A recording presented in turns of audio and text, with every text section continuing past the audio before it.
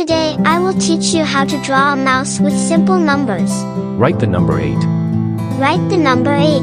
Write the number 7.